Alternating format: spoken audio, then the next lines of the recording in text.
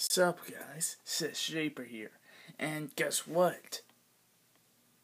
I'm back! Seth Shafer is back! Do you miss me guys? Let me know in the comments.